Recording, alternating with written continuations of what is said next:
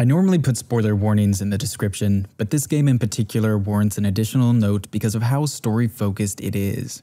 If you haven't played Firewatch and you like narrative driven games, I strongly recommend you play it before watching this video. I genuinely believe it is one of the most thoughtful and creative pieces of video game storytelling that I've ever played. After spending two months of my life grappling with Skyrim and its narrative pitfalls, a strangely glorious game whose reach perennially exceeds its grasp, moving to the short, meticulous four hour experience of Firewatch felt like, well, it felt like a nice break. I had played Firewatch years ago, back when it first came out, and I haven't really been able to shut up about it ever since. So, this video is the ultimate consequence of that. Absolutely nobody asked for this, but my therapist said I need to get better about doing things for me. Or they probably would if I could afford therapy. I, I, I don't have very good health care.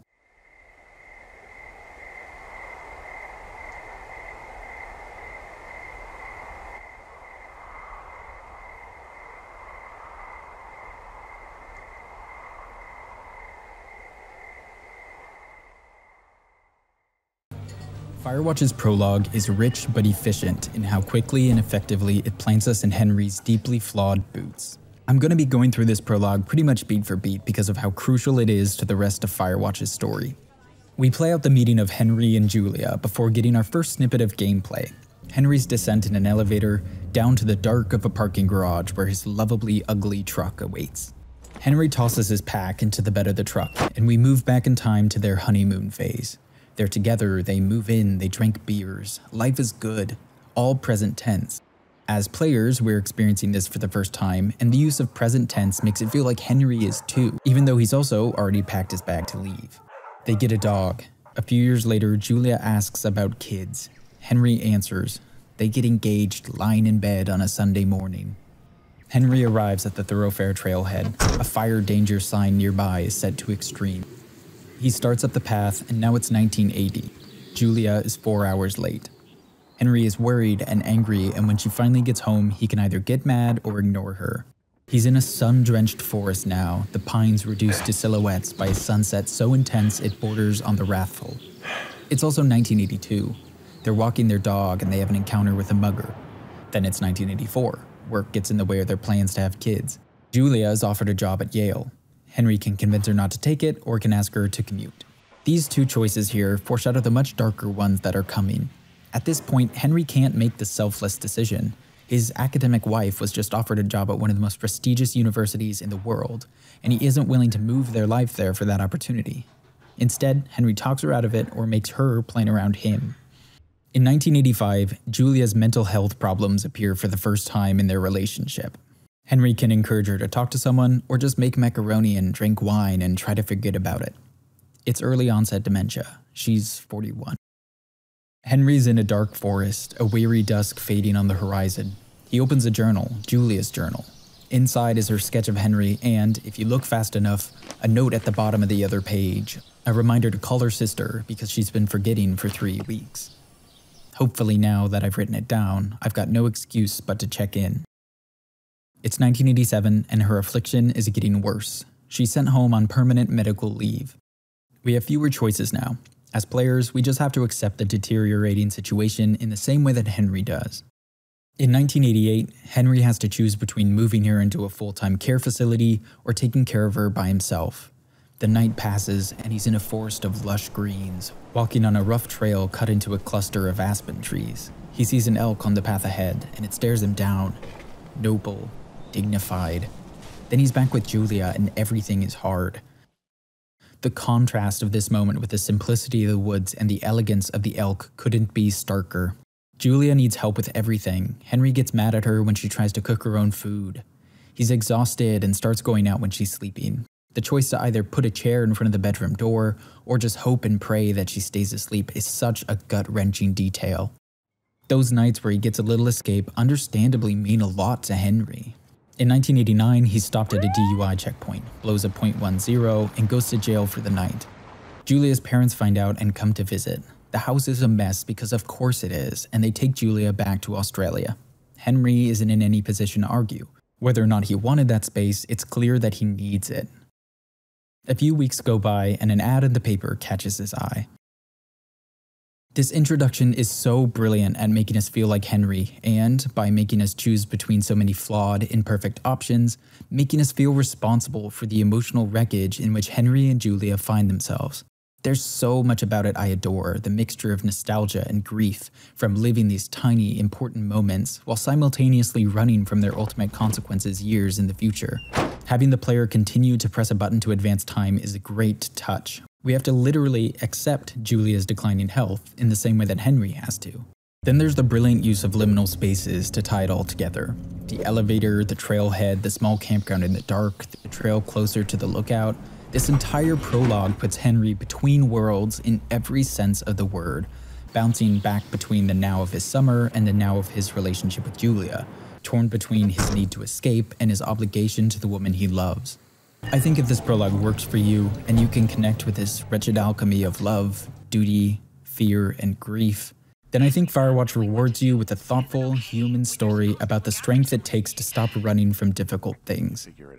If you don't find this opening that effective, I think Firewatch is reduced to a pretty game with snappy dialogue and an underwhelming ending. If you couldn't tell already, I fall in the former camp. I love this game. That's a lot of pressure to place on the first 10 minutes in the game, but it has to happen here because once we're in the woods, we mostly get to control what Henry says, if anything, including what he says to Delilah about Julia. It will come up after a dream, but Henry can avoid discussing more about it. If you do, it can change what Delilah says to Henry at the end of the game. Avoiding talking about Julia wouldn't mean that Henry's not still thinking about her, but it would mean that the player might not be, in which case the story doesn't really work as well. Another game that front-loads this emotional core is The Witcher 3, whose already shaky main quest falls apart if the player doesn't come to care about Ciri.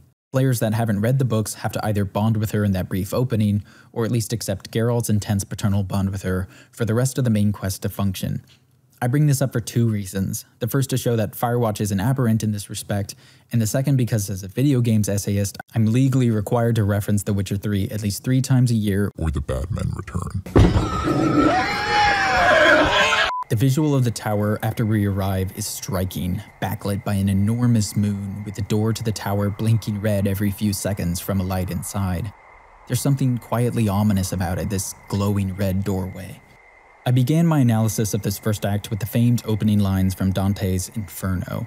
Midway upon the journey of our life, I found myself within a forest dark, for the straightforward pathway had been lost. It's hard to not play Firewatch without considering all the hellish connections. We have our dark woods before the doorway, we have the fire, the smoke, the ash, the fear, and we have, of course, the sinners.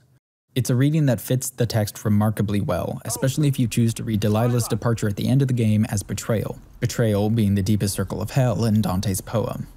Through this lens, the game could become an exploration of the subtle hells we make for ourselves as a consequence of our indecisions, I'm not sure this is my preferred reading though, mostly because if we were to go in that direction, I think this is much more of a purgatory than a hell for Henry and Delilah, and one could argue that that's the case for Ned as well. I also don't view Delilah's actions at the game's conclusion that uncharitably, but we'll touch on that more when we get there. Speaking of that particular devil, we climb the tower and meet her, and if she sounds a touch drunk and a touch lonely, it's because we'll soon confirm that she is. So, what's wrong with you? Excuse me? People take this job to get away from something. So what's wrong? What's wrong with you? Our first conversation in the game, and Firewatch builds it around this idea of flight, of escape. It's playful and odd, but it's front and center in our minds as we smash to the title card. Welcome to the job.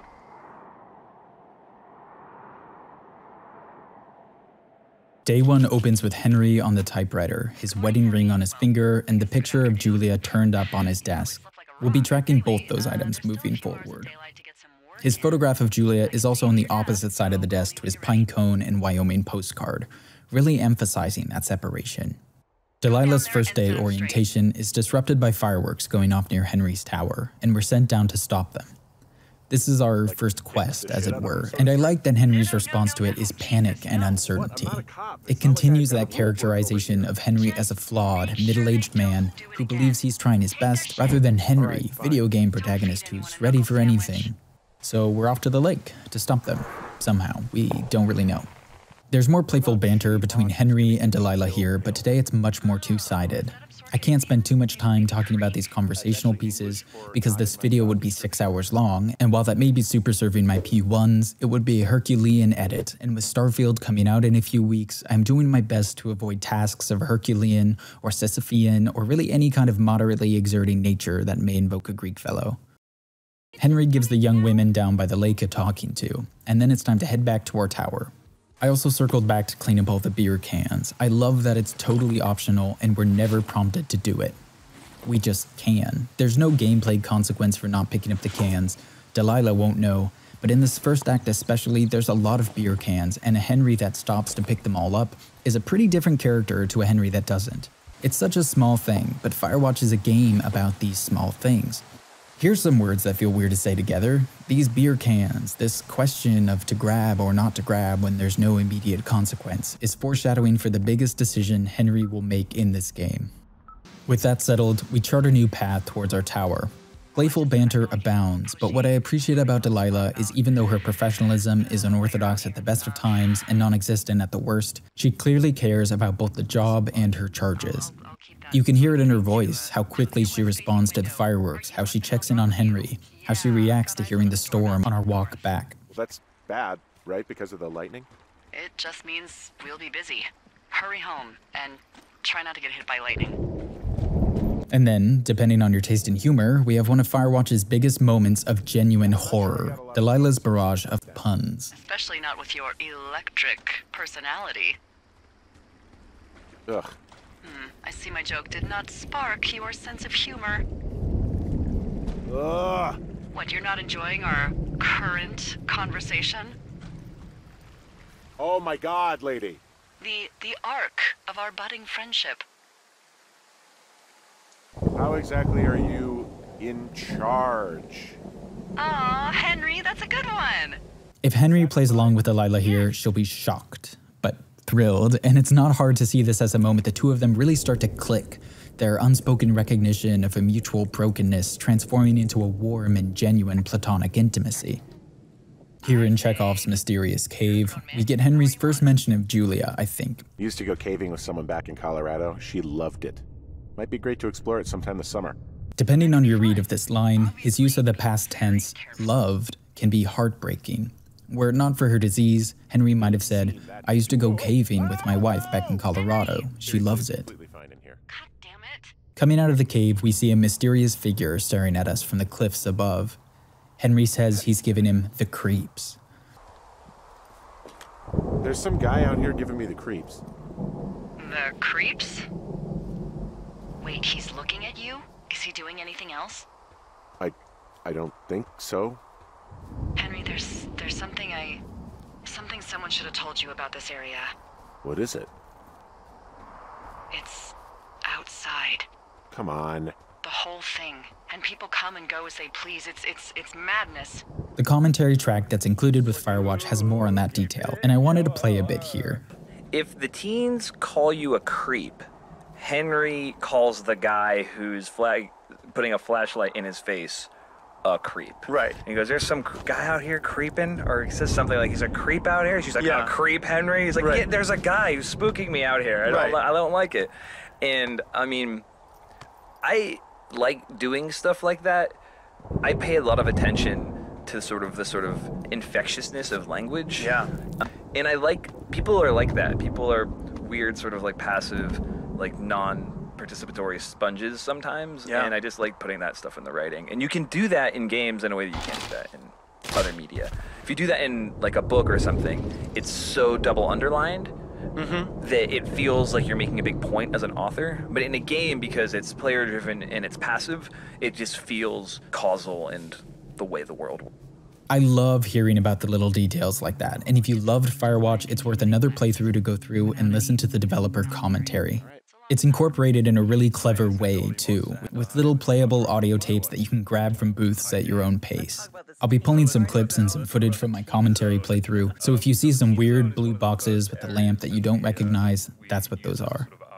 We see our tower site from a new angle as we approach it from the north, including the reveal of the lovable mascot Forrest Burns lurking by the back wall of our outhouse. You know, I don't think there's any fictional character I hate more than Forrest Burns. Henry, As an employee of the Forest Service, that is treason. Yeah, well, he really freaked me out as a kid. He inspired me to spend the bulk of my 30s keeping the wilderness safe. A shrink would have a field day with you. Ah, Thanks, Mom. What kind of name is Forrest Burns anyway? Well, that would be a pun, Hank. A glorious pun. Again, we're cementing this new bond between Henry and Delilah while making Firewatch's world feel more real. It's a great little detail because our new team is about to be tested by our first big clue that something is up here in the forest. Someone has broken into Henry's tower. Delilah takes it seriously. She's able to switch between the pun loving Delilah of crosswords and banter to the forestry professional that's been doing this work for over a decade in an instant. Okay, in the morning I'm gonna call my friend Patty, who works the desk down in Cody. They keep a list of everyone who's officially been in and out of the trailhead since, I don't know, forever, and see if we can get a list of names. We won't get much, but at least if anything else happens, we can refer to it and see if anything comes up. Thanks. I need you to feel safe out here. If you were analyzing Firewatch as a big mystery story, I think this moment right here is where you could end Act 1, with an inciting incident in the tower break in and our plot set up for the future. Keep that attitude But looking back on it as a story of Henry's emotional journey, ending our first act with the fireside chat of Henry and Delilah feels a bit better to me, though I can definitely understand why people might see this story differently. Day two begins at Henry's desk, Delilah contacting us on the radio, and a fresh journal entry next to the typewriter. On my first playthrough of Firewatch years ago, I didn't pay much attention to these because I wasn't really used to those details mattering. I thought I was playing a mystery and that the break in last night was our inciting incident. Julia was backstory. And I can't fault players for viewing the game through that lens on a first playthrough because that's how years of gaming experiences have primed us to view video game stories. It's not until the end, until we experience the shock of our princess not being in her tower waiting for us, that Firewatch really triple underlines the point it's been making all along its final act of subversion. We're not a hero. This isn't a big romantic mystery as much as Henry or Delilah might want or need it to be. If you zoom in on his journal entry, it reveals that he's been having what he's referring to as Jules dreams. He thought he wouldn't have them out here in the wilderness, but he does. Henry writes, I fell asleep around 5 a.m.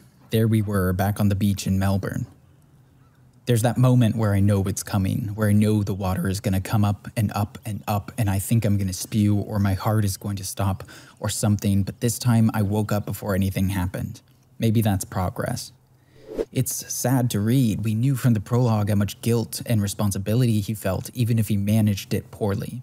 Even here, in the woods, literally staring down a new dawn, he can't escape his old darkness.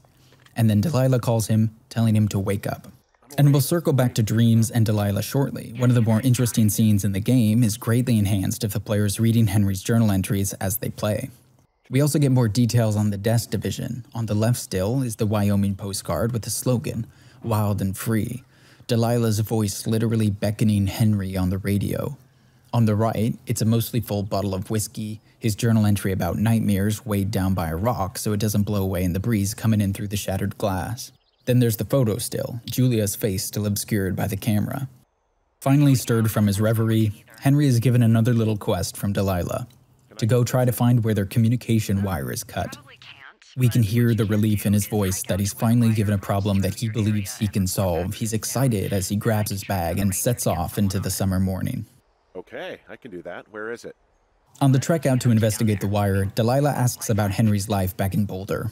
We can mention our dog, we can mention Julia, or we can mention our favorite bar. In this playthrough, I mentioned Julia, and Delilah asks for more information before being interrupted by another call. In the shadow of last night's events, overhearing this conversation can seem ominous, another piece in a growing mystery. Or at least I think it's supposed to be, but even in the context of the mystery story, this moment sticks out as an obvious red herring.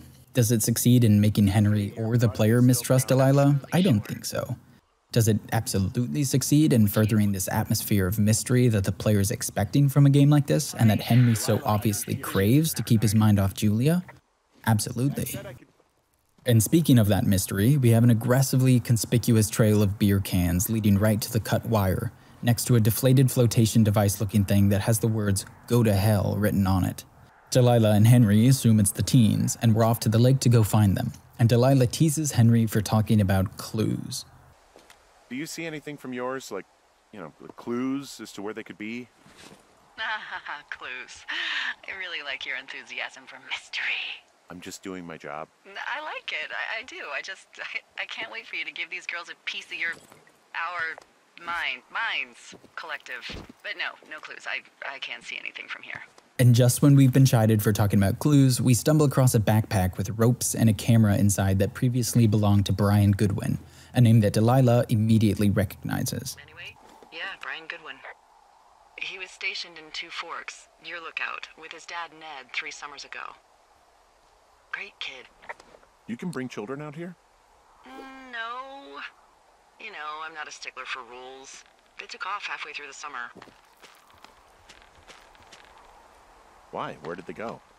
I don't know. I never really hit it off with old Ned, and um, one day they were just gone. Sucks.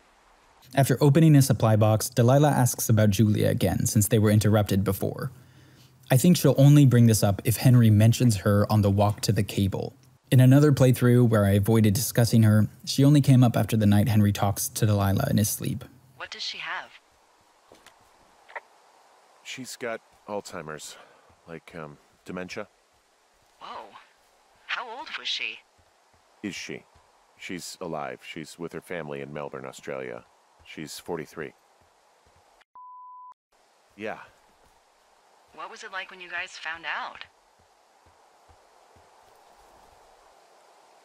Devastating. Especially for her. You can understand. And for you? Anyway, everything she worked for was taken away, and that was it. Yeah. I'm sorry to be such a downer. Don't, don't, don't even. I'm happy to listen. Delilah is sympathetic and kind, but the little moment I wanted to draw attention to is this part. Especially for her. You can understand. And for you? Anyway, everything she worked for was taken away, and that was it. Henry completely brushes over how hard this was for him in this conversation here.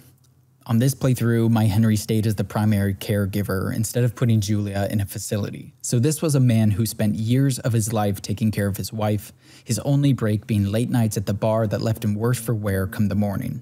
I like the detail of Delilah circling back to how difficult this situation is for him as well, and her quick acceptance of Henry's flight when she says, And, you know, we'll try to have some fun this summer. I promise. Hers is an easy empathy, and we'll soon come to learn why. I also appreciate that immediately following this conversation about the scariest, most difficult part of Henry and Julia's life, that we walk through a verdant patch of forest revitalized from a recent fire. Adolescent pines shoot up from the ground, flanked by small pink wildflowers. Standing vigil above them all are tall, blackened tree trunks that paid the price for this renewal. And of course, neither Henry nor Delilah stops and says, Wow, forest fires can be terrifying and full of suffering in the moment, but look at how resilience is rewarded. See what fruits the new day can bring. What a lovely metaphor for your current situation, and obviously, thank God that they don't. But it's a subtle touch of symbolism if we want it to be, to be appreciated on its own terms or observed and interpreted if you're looking for it. And while we're on the subject of symbolism in Firewatch, I also wanted to sneak in a bit more here. Thoroughfare Trailhead was the name of the trail we used to hike up to our tower, and Delilah's lookout is called Thoroughfare Lookout. A thoroughfare is a road, path, or way forming a route between two places. So, yes, it's a logical description for a trail or a tower that's overlooking an area of woodland that's connecting two spots, but it's also an apt description for Henry's broader journey in life, stuck between a past he's ashamed of and a future he's afraid of. The land he's supervising is also called Two Forks, bringing to mind forks in the road, obviously, many branching pathways, each more daunting than the last. And don't even get me started on the obvious connection to Robert Frost. You've come to Two roads diverged in the yellow wood. Summer, we got a bump in forest service budget and can actually afford to have you. As we get closer to the girls' campground, Delilah asks what Henry's planning to do after the fire season. Are you gonna go be with her? Just go back to Boulder? You should go be with her. That's my opinion. Ah, sorry for the umpteenth time. Anyway, call me when you find the girls. Or anything. Or call me whenever you want. I don't know. I, I haven't really thought about it. Right now, I'm trying to hunt down some vandals, and I don't even know what I'm going to do when I find them. I'm not thinking very far ahead. You should go see her. She's with her family in Melbourne. They're not big fans of mine. Her sister, Susan, is great, but her parents, I uh, think they always thought she could do better and that I could have done a better job looking after her. that. I have no doubt you did your best. I don't know. If you want to go visit her, you should go. Don't let a couple of assholes keep you away from someone you love. I'll think about it. It's another nice moment for both of them Henry being honest about his path, and Delilah being generous in her support for Henry. It's a moment I think Henry is probably expected to reciprocate in a few days when Delilah shares what she's running from, but weirdly, he doesn't. When that moment happens, Henry doesn't give Delilah the same absolution. We'll touch on that a bit when we get there. The girls' camp is abandoned, torn to shreds. They left a note on their shredded tent. They think it's Henry's doing. Someone or something has done this, and it wasn't us. The plot thickens. The morning of our third day sees Henry finally repairing his busted window when Delilah starts to ask him questions about his appearance. Henry answers, but when he finds out it's for a drawing Delilah is doing, he seems to have a disproportionately alarmed response. I want to know about your eyes. Get out of here. I'm drawing you. I need to know. You're what? On my first playthrough. I thought it was just awkwardness associated with the more flirtatious nature of their banter. But on a subsequent one, I think it's more because it reminds him of Julia and her drawing, the one that we posed for in the prologue. It's in her journal that we brought up with us. I love the touch of Henry only having three socks hanging up to dry in his tower. Even out here in the wilderness, living in a small wooden glass box barely larger than a Minecraft starter home, one cannot escape one of the only universal truths of our world. Socks are tricksy and false and will do everything in their power to leave you, like a barn cat or a third wife. The days get shorter for both player and Henry. We're now only playing brief snippets for the next few minutes. On day 9, Henry is enjoying a sandwich with a side of sunset when Delilah radios in to tell him that two young girls have gone missing, and they might be the girls we met a week ago down by the lake. We cut to day 15, Henry waking from a dead sleep to Delilah calling him on the radio. Henry. Henry, wake up. We're expecting another clue in the mystery, perhaps our spotting of a shadowy figure outside our tower. Instead, Henry answers and hears Julia. What do you want? Hey, you big dumb idiot.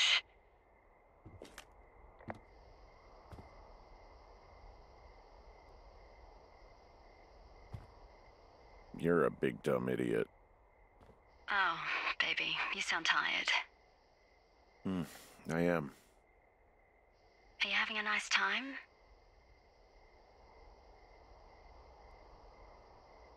Sure.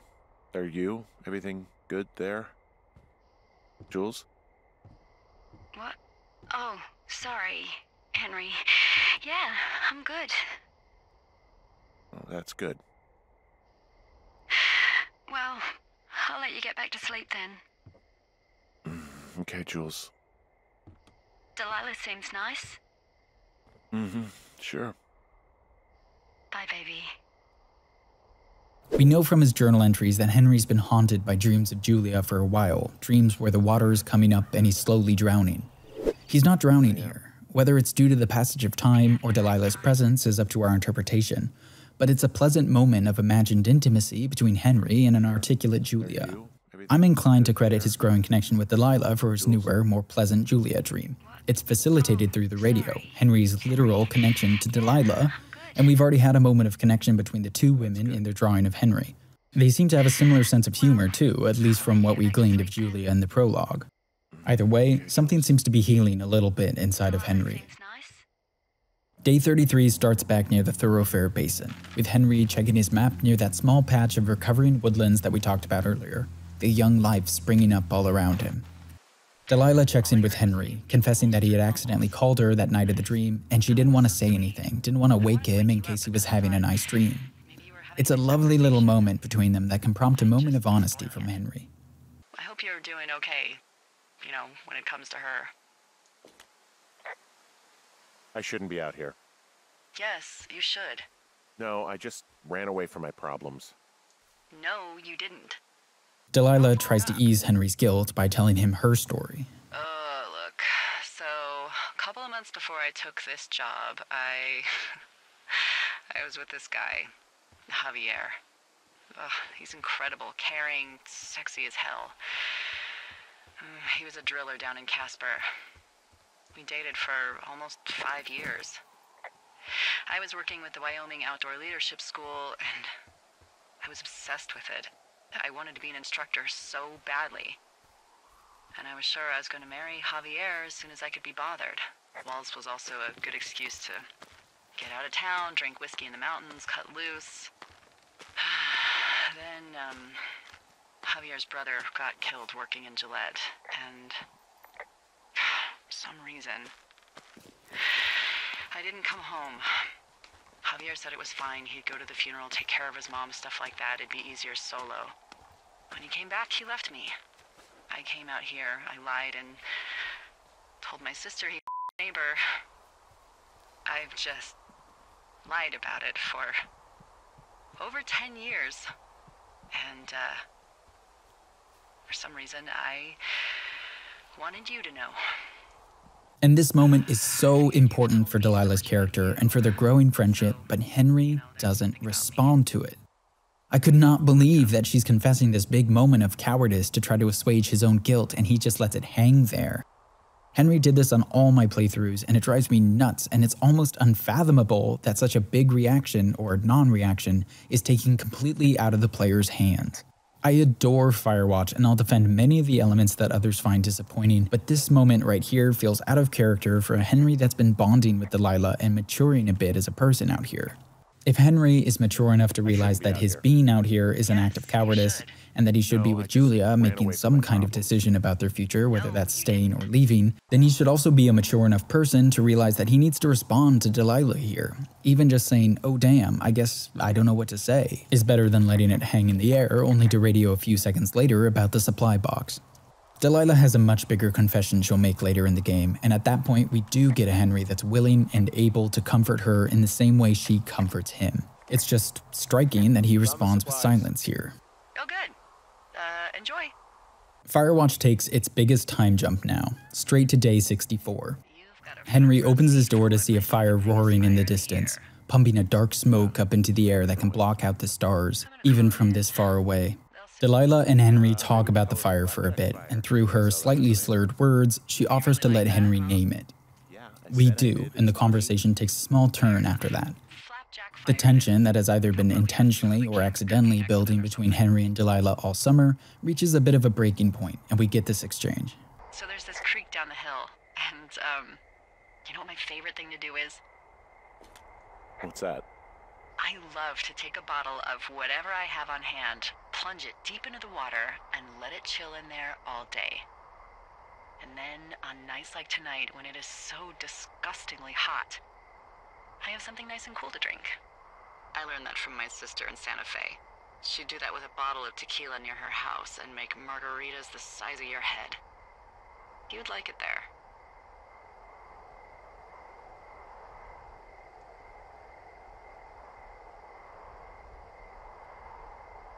I've had one too many bad experiences with tequila.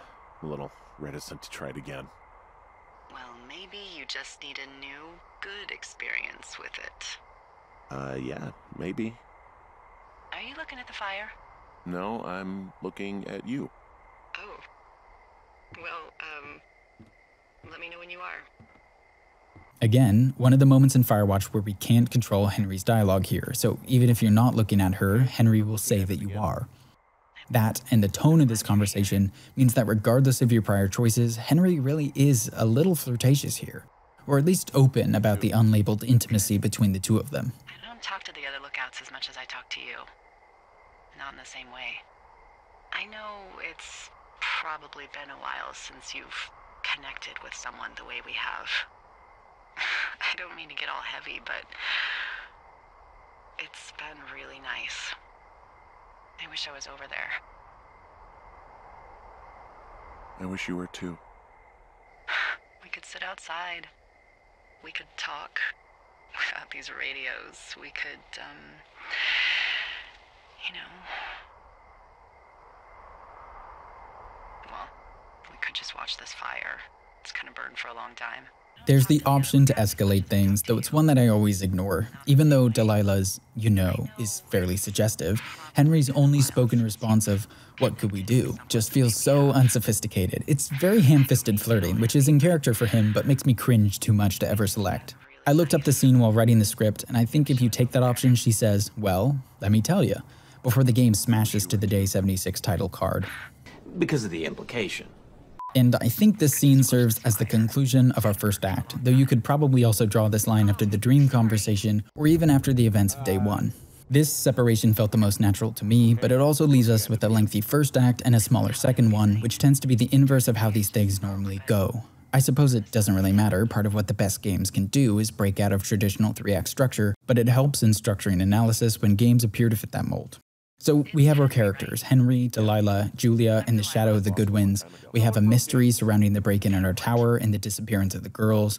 And now, true to the game's name, we have a fire to watch. And at the heart of it all, we have Henry's emotional journey as he grapples with his guilt, uncertainty, and obligation, not to mention an increasingly complicated connection to Delilah. Henry's strange summer rolls on.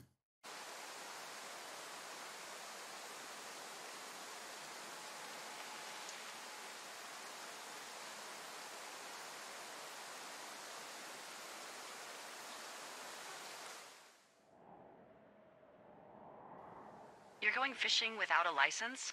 It's one fish, and I'm sick of all the stuff I got to eat. Our second act opens with Henry setting off to try to catch himself a fish. I really like this beat, and I think it's an important one, despite it being quickly abandoned to further our mystery. We're showing Henry's increasing comfort in the environment. He navigates it easily and for fun now. He's not only adapted to his new way of life, but he's starting to thrive in it. This is also the first day, here on day 76, when Henry starts a day without his wedding ring on. It's been nine or ten days since that much more flirtatious conversation with Delilah, and now, for the first time all summer, he's setting off into the world without his ring on. From here on out, he'll start each day with it off, placed on the desk next to his typewriter. His removing it is left up to the player's interpretation. Was this a practical decision or an emotional one? Delilah asks him to look into a problematic bear in the area, and you can hear in their voices just how close these two have become over the course of the summer. Uh, does problem actually mean murderer? Like how Charles Manson is a problem cult leader? Oh, come on. You just have to look for tracks. That's it. Can't believe I'm gonna leave this planet as a pile of bear shit. Thank you, Henry. Yeah, yeah, yeah. Tracking plans are abandoned, however, when Henry discovers a mysterious clipboard down by the lake. Someone left their clipboard out here. Huh.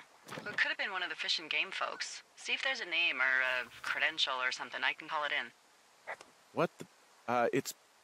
Holy shit. What's going on? You didn't actually find a bear, did you?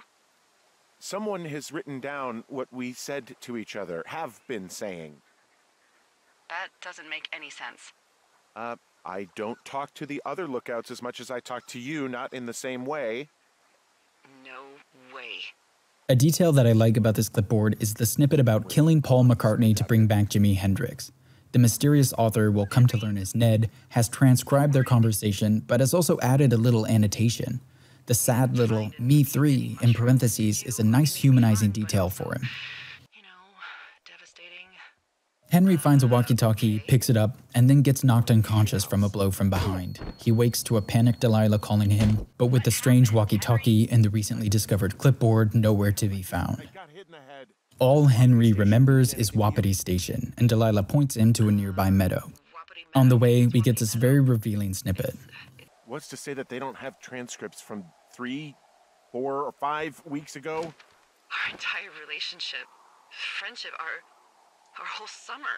Good catch, Delilah. Someone is out. Henry can't get into Wapiti Station without more equipment. So he's off to grab an axe from a nearby firefighter camp.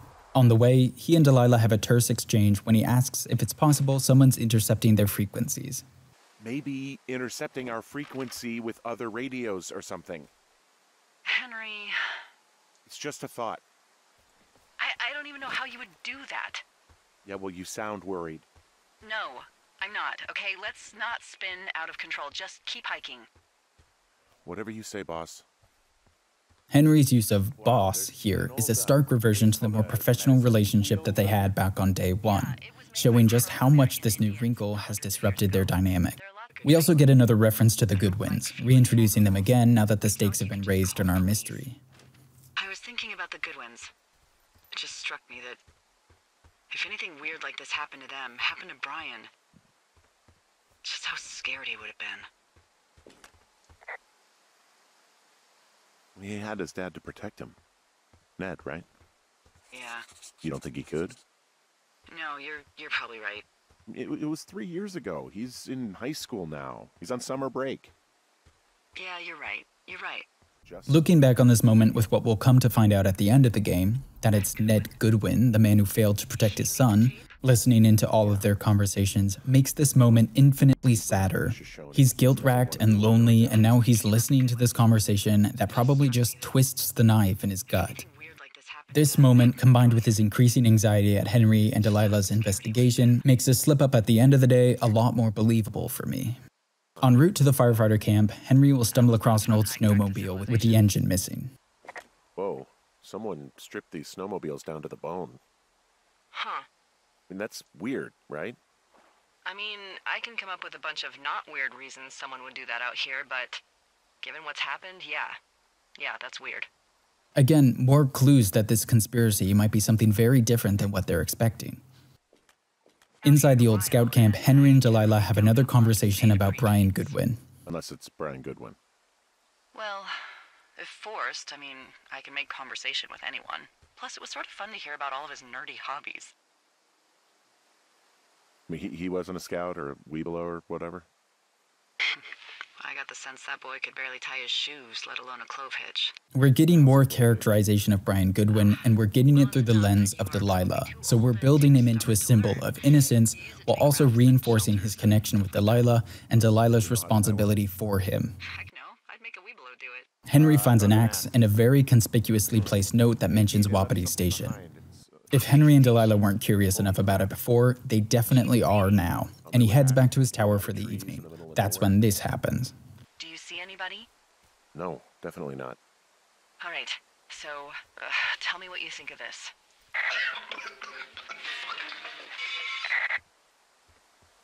Did you just cough? No. Did you just cough? No. Um, there isn't any way someone, like another lookout, could be on this line, is there? No. Not without tapping our radios. Get in your tower, shut the door. Don't leave, and don't use your radio. So that's how we enter day 77, another moment of raising the stakes. We have confirmation that someone is definitely listening in, and now we have more clues pointing towards what seems like a secret government facility. As scared as Henry and Delilah are starting to get, you can also hear something else in their voice excitement.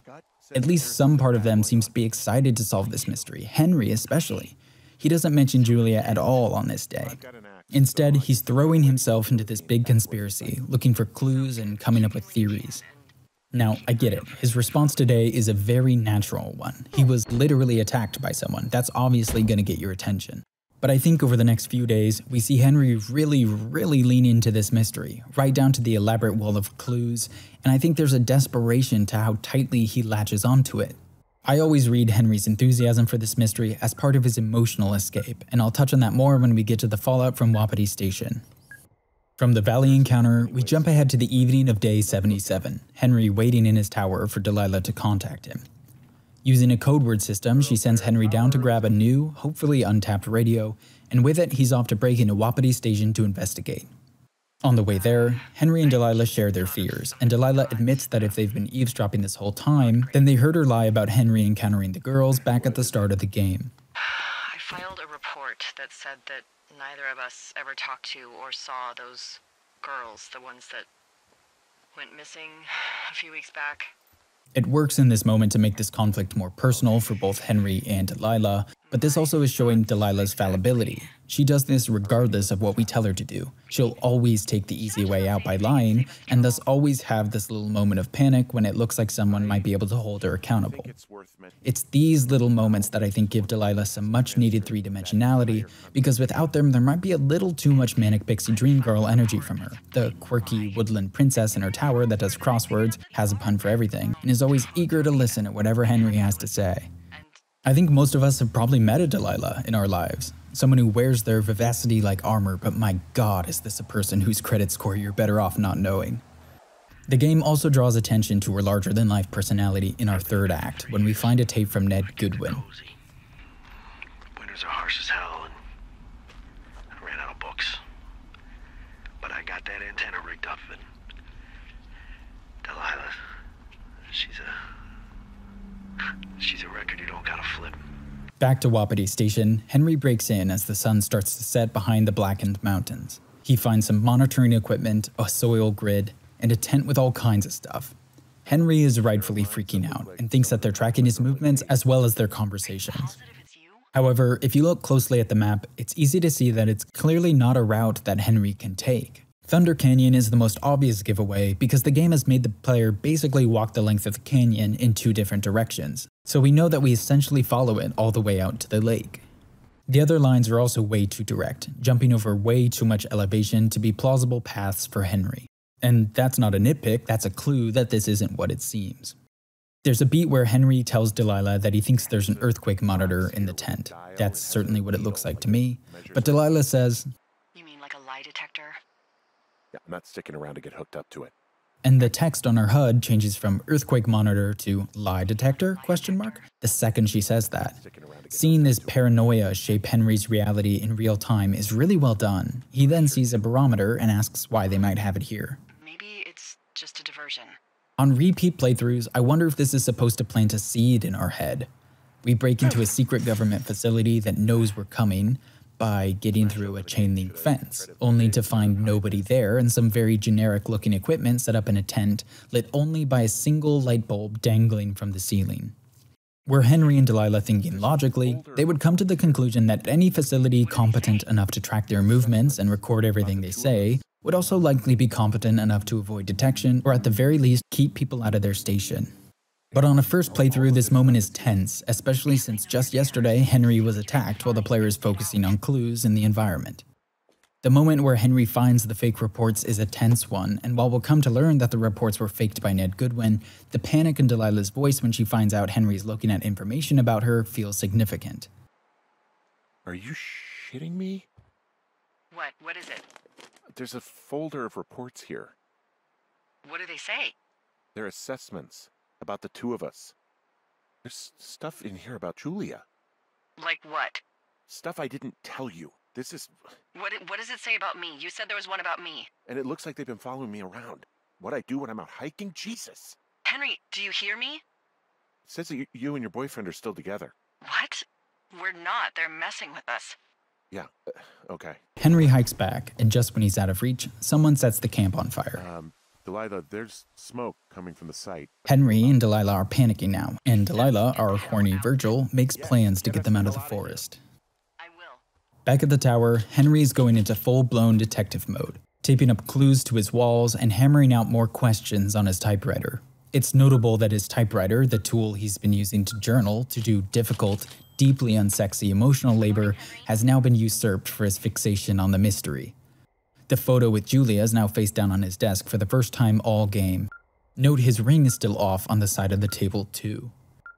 When we look at Firewatch as Henry's emotional journey, it's these little moments and details we have to pay attention to, because again, if you just treat it as a mystery, it's not going to be very satisfying. But the prologue primed us to think of this as a story of Henry's self reckoning, and I think it's a crucial part of that story that Henry, like the player, quickly abandons that to focus on the mystery. We want the mystery because we're playing a game, and this is what we're used to. Henry wants the mystery because journaling about his grief and exhaustion and making a decision about his role in Julia's life is scary and hard and aggressively unglamorous. This is a mystery that can be solved. This is a problem that he feels empowered to address. Alzheimer's isn't. He needs this mystery, needs these shadows to be ghosts because the unreality is a safe space for him. Assessments Henry's new toy is picking up a nearby frequency, and he radios Delilah to tell her, but she's clearly drunk. Hey, D, I don't want to harsh your vibe, but maybe, just maybe, that's a bad idea.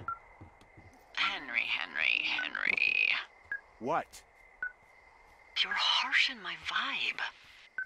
My thinking is I could stay up all night worried I'm gonna lose my job because of the side fire, or I could not worry and let the chips fall where they may. It's not like there's any proof we were down there. My thinking is I'm gonna follow this wave receiver.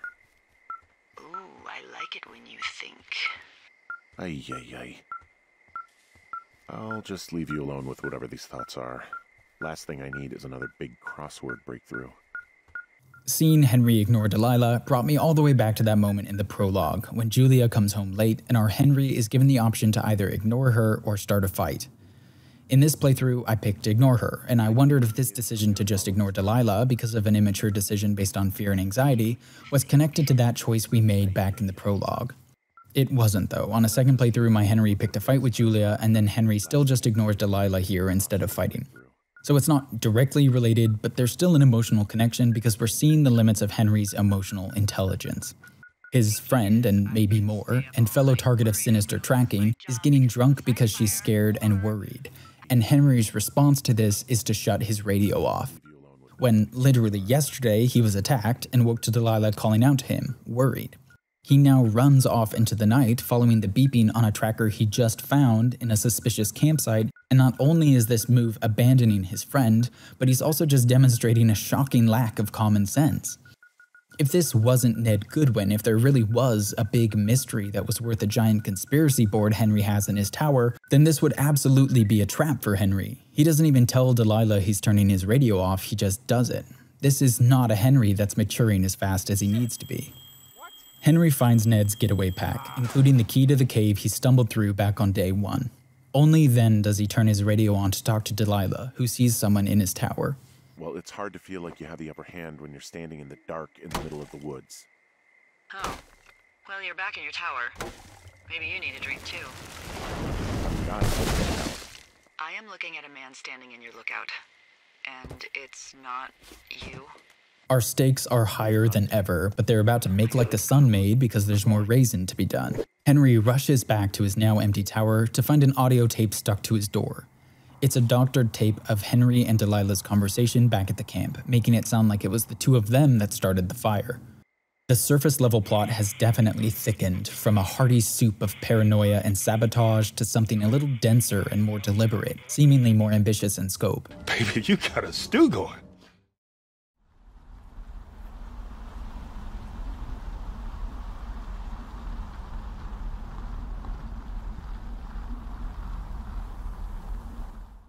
Day 78 starts with Henry desperately replaying the tape from last night, staring through the swirling smoke at Delilah's tower, obscured in the distance.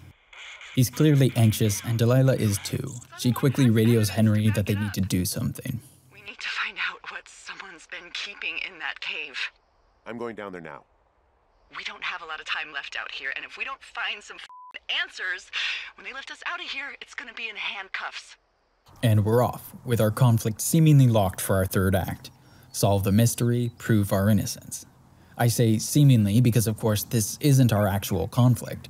This is still a story about Henry's emotional journey, and the events following the cave discovery are our actual climax to the game. As we race to the cave, the oppressive gray of the smoke shades the entire landscape, sapping it of color and life, and we can feel the walls closing in on Henry. This isn't his sanctuary anymore. This isn't his hideout. It's something complicated, something dangerous.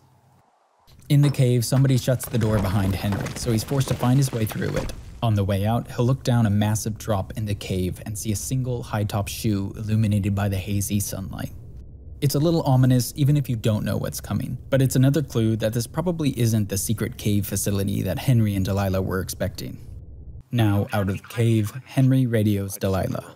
I'm gonna hike back to Two Forks and see if I can find anything that could double as an anchor to use in the spot. Well, that doesn't sound dangerous. Delilah, I just found an outcropping that someone was using as a little fort. I think it was Brian Goodwin. The objects in Brian's cave continue his characterization as a young, fairly nerdy kid with a creative side. As we talk about him to Delilah, we can hear the affection in her voice as she remembers him. Hey, remember that pack I found? Back on your second day? Yeah. I found a plan Brian drew about how he was going to get it back. Oh, I'm sure it was quite elaborate. It's some wily coyote stuff, I'll tell you that much. It's a little weird that he'd just leave so much of his stuff out here. Well, maybe they were in a hurry when they left. Like I said, he wasn't supposed to be out here. Yeah. I. Uh, they almost got busted. Brian liked to go out on the railing of the tower and wave at the planes that dumped water on fires, and. I got a call because someone thought a kid was up in Two Forks. I lied, and just said it was Ned. If I ratted him out, they would have been forced to leave, and.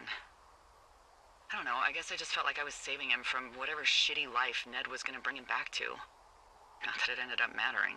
Our clues are starting to take a turn in a darker direction. The unsent postcard is the most gut wrenching one for me, apologizing to a neighbor back home that he can't mow her lawn this summer. There's also the line, Can you write back and tell my dad when school starts? Because I don't think he knows. Delilah also tells Henry that Brian and his dad used to tinker with old radio equipment, more pieces falling into place. And then we find some leftover climbing gear, strong enough to hold when it's driven into the rocks. So, new equipment in hand, Henry returns to the cave to finally get some answers. I wish we spent more of our third act in this cave, though I'm also not sure how we could have. We're also brushing up against the classic allegory of Plato's cave here, but we're essentially inverting it. It is the answers we find inside the cave that dispel the fiction of the real world. Because inside the cave, we find a dead Brian Goodwin. Ah, shit. Are you. Oh, God.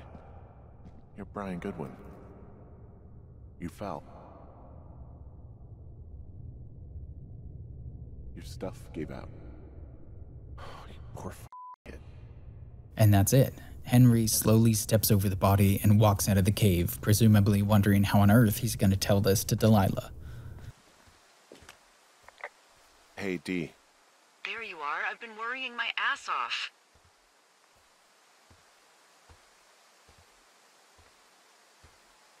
Hey, I am. I'm sorry, Delilah. I'm so sorry. About what? You're freaking me out. He's in there. What are you saying, Henry? The only thing in the cave is Brian. He's dead. His body is in the cave, Delilah. gotta be f***ing kidding me. How does that. Hmm, what? I don't. How? Climbing, I think, or made to look like a climbing accident. Mm-hmm.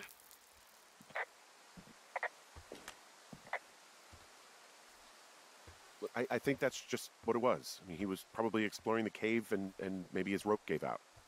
But whoever locked me in there probably didn't even know about him. I'm sorry, Delilah. I'm so sorry. He'd be alive if I had told someone he was out here. I don't know where he'd be, but I can assure you it would not be rotting at the bottom of that cave. I There's, there's, there's nothing to say. Hike back. I think we're leaving tomorrow anyway.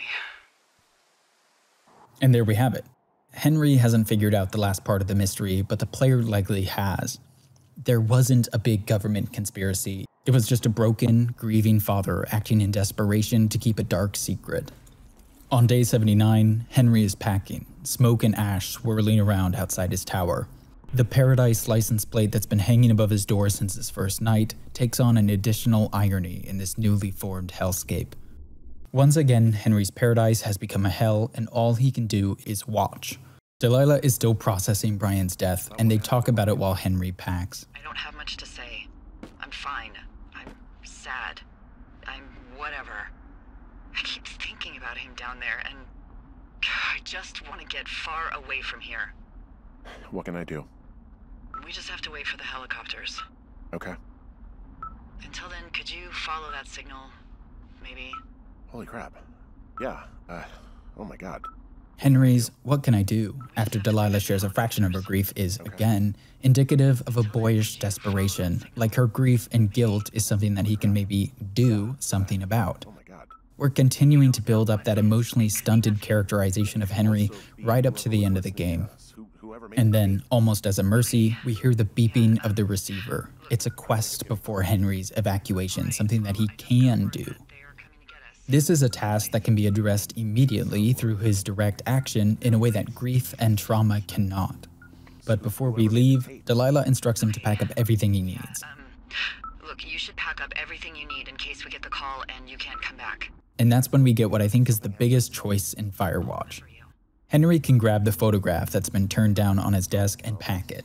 But I think the most obvious and powerful symbol for this moment is the wedding ring that's been on the desk since the start of day 76. Unlike the other objects in the tower, you can't just pack the ring like you could the photograph. You either leave it there or put it on, no middle ground.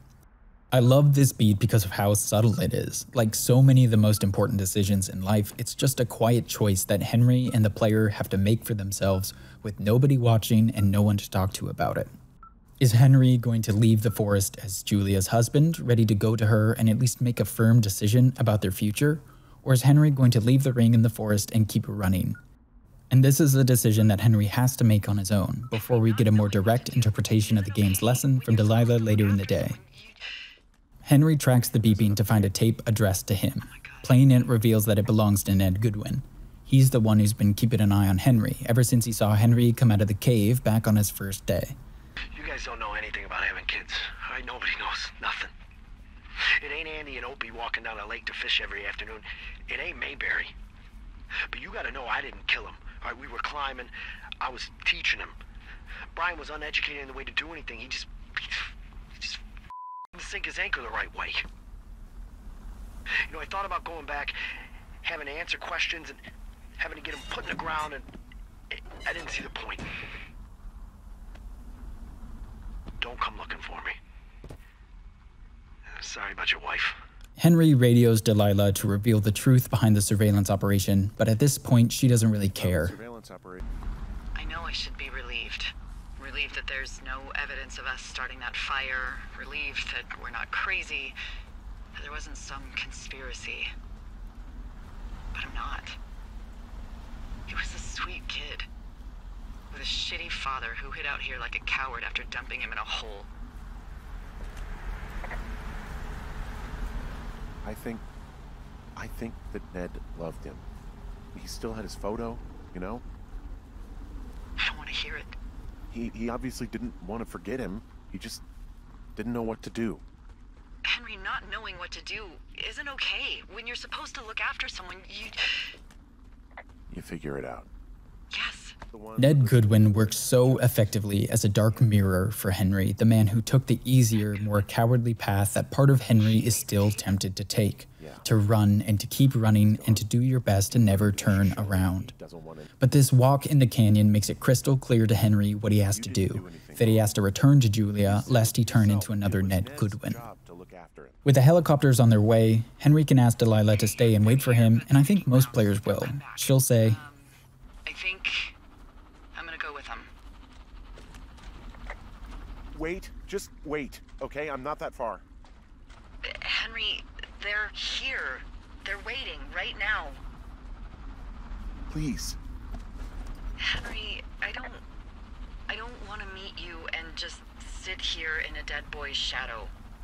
Okay, I, I don't want to do that. I know that sounds harsh. okay, I'll wait. And it's the lie more than the leaving that ends up feeling like the greater betrayal when we show up to the tower and Delilah isn't there. But we already know that she'll lie to keep things easy when the truth would go down harder. She did it back with the missing girl report, and now she's doing it to Henry. On the way up the steps, Henry says, oh, God, it's a nightmare out there.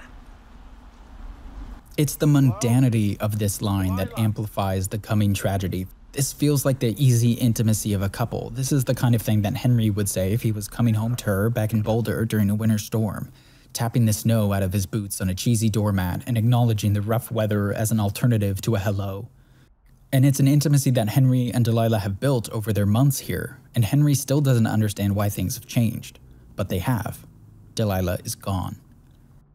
And if you're looking at Firewatch as a romance mystery story, then this ending could function similarly to the end of Edith Wharton's The Age of Innocence. I guess spoilers for that book if anyone cares, now's the time to jump ahead a minute. But that novel famously ends with one character refusing to go meet his old lover years later, instead, choosing to sit on a bench outside her house while his son goes up to meet her. He says, It's more real to me here than if I went up. It feels like a Byronic choice that seemingly values the idea of love and the martyrdom of longing over the real, but often disappointing and messy intimacy of an actual relationship between two imperfect people. But by that point in the story, this character, I, I, guess I can say his name, his name is Newland Archer, which I know absolutely sounds like the overpowered protagonist of a derivative YA novel, but I promise that's his name. By that point in the Age of Innocence, Archer had already chosen duty over love years earlier, so one could say that he's earned this unusual choice to hold onto her memory rather than face reality. So, again, if we look at Firewatch as a romance mystery game, then I think this ending works, it's just not a happy one for Henry. Of course, he wanted to meet Delilah, but after everything that happened, Delilah didn't want to meet us. That's disappointing, and it's supposed to be. She's still reeling from the Brian Goodwin revelation, true, but we also know this is a character who abandoned her last serious romantic relationship when things got hard. Confronting the reality of Henry, the man she's only ever spoken to via radio, while also, quote, sitting in a dead boy's shadow, is believably just more than she would want to handle. It's a Delilah that's choosing the romanticized Henry she's built up in her head, rather than the portly, flawed man that comes stumbling up her stairs saying, It's a nightmare out there. And that's a little sad. But like I've said before, while there is a romantic component to the Henry Delilah relationship, I think Firewatch is much more about metaphorical flight and its actual consequences. We saw that clearly spelled out as Henry and Delilah talk as he evacuates through Thunder Canyon, and I think this final conversation is hammering it home. I don't know what's next. Tell you what, why don't you choose for me and I'll choose for you? All right, sure. Um, maybe.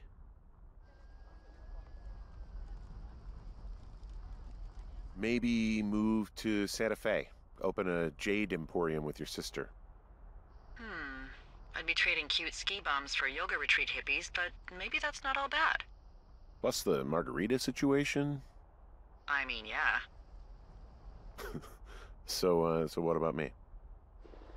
I think you should go to Julia, and then you can figure it out. Maybe put that typewriter to good use. Give me a sexy accent or something if you write about this.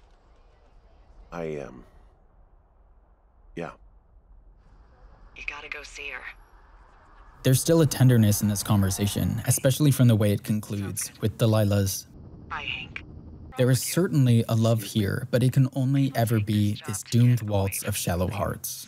I think Henry's choice of where to guide Delilah is significant too. Suggesting that she become a crossword editor at the New York Times is a fun suggestion, oh, but it's much too lofty and storybook for the reality to which our Firewatch characters must now return. It's the sort of ending we'd see in an older movie, text going across the screen that says, Delilah went to New York, where through her wit and no small amount of luck, she quickly rose through the ranks to become the New York Times' finest crossword editor in years. And of course, it's not that story. My Henry suggests she go to Santa Fe, live with her sister for a bit, drink some stream chilled margaritas, and maybe try to give a more normal life another shot. And Delilah, of course, guides Henry back to Julia, though by this point it's clear that he knows he has to return to her. Delilah's leaving before we get there takes away any traditional heroism Henry could have had in a very interesting way, I think.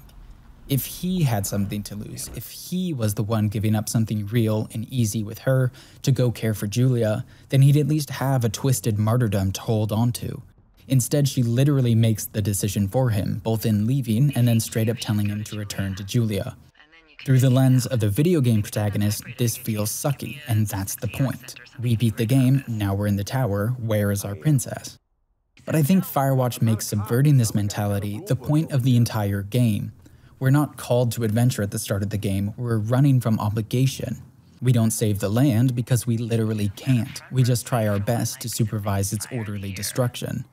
We don't get to run away with Delilah, or even get a big, dramatic moment of closure because Firewatch is ultimately a very mundane story about flawed people. And it makes for a jarring and somewhat unsatisfying video game, which again is what I think the point of it is. This is a story that deliberately eschews traditional structure. We don't have a clean start, middle, and end for Henry's emotional journey, because that's just not how these things work in life. It seems like he has an epiphany in the canyon on the hike out, like he knows he has to return to Julia and either face her disease with her or separate, entirely. entirely. Players tracking the ring or the photograph can watch as Henry tries to forget Julia and move on, or, depending on your choices, recommit by donning the ring and taking the photograph as we leave. But again, it's messy. It's not dramatic or definite because it's imitating life. A helicopter arrives to whisk Henry away to safety, and as the credits roll, we see all the photographs we took on our journey before we get back to the ones that Brian Goodwin must have taken. It was Brian's ghost that Ned was running from. Now Henry's on his way back to the ordinary world to face his.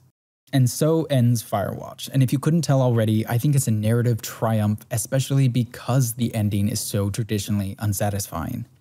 If you have a different take on the story or the ending, or think I'm missing something, I really would love to hear your thoughts. This game in particular invites discussion like few others.